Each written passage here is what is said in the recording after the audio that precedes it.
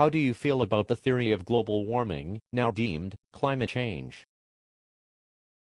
Climate change is a big-time crisis. Our planet is heating up, and it's caused by greedy people who use too much gas and electricity as part of their lavish lifestyles.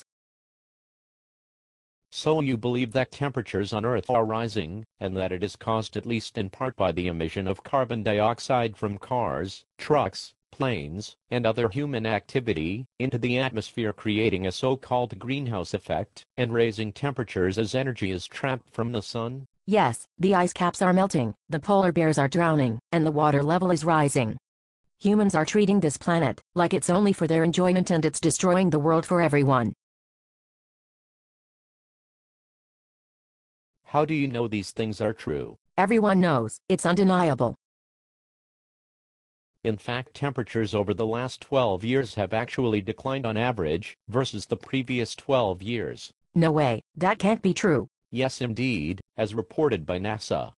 You should also know it has been reluctantly acknowledged by the United Nations that there has been no so-called global warming since 1998 but you won't see that reported by the mainstream press who are all heavily invested in the notion that our planet is heating up. You are wrong.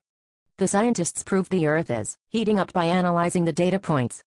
They all agree, except for a few wackos who are in denial. Actually there is no material proof that global temperatures will rise over time.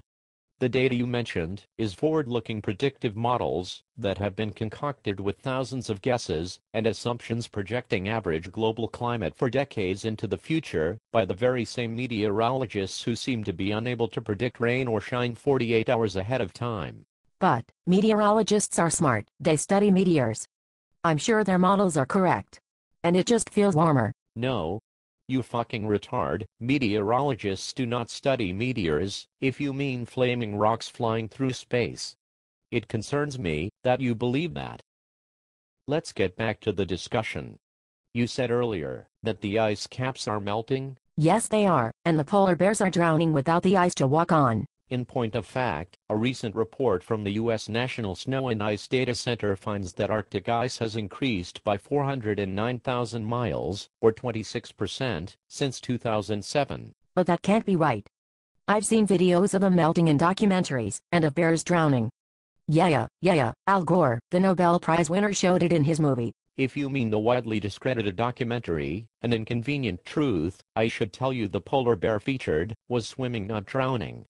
The whole scene was later debunked by the cameraman who admitted he took the footage in August, when melting occurs yearly, before freezing begins again, yearly. But the polar bears are in danger. You'll also be relieved and happy to know that the Polar Bear Study Group reports there are actually five times as many polar bears on the Earth now as there were in 1950. The number is up to at least 20,000 and growing. What about the sea level? It is rising fast, and whole villages are in grave danger. It is alarming to me that you are spoon-fed this propaganda from the media and regurgitate it with such naive passion. Please know that the mean sea level was established and first marked in 1841 in Tasmania, Australia. There has been no measurable rise in sea level since then, and a strong case is being made that it even fell a little bit. But if you are right, then why would the government and the media, and all these scientists, make up all these lies and report them? The recent scandal, nicknamed ClimateGate, is only the beginning of what we will find to be the greatest global conspiracy in the history of the civilized world. Governments and global organizations such as the United Nations are using the false concept of global warming, and the equally false tie to human-caused carbon emission, to take power and wealth away from its citizens under the auspices of saving our planet. Unless we do something about it, these organizations will accelerate their successful effort to take away liberties in most elements of our daily lives justifying it by claiming it is necessary to protect our planet, for us. But there are more hurricanes and more floods than ever before. This drastic weather is caused by humans, and we are being punished for it. Once again, you haven't listened to a fucking word I've said. Does your particular brain consist of applesauce?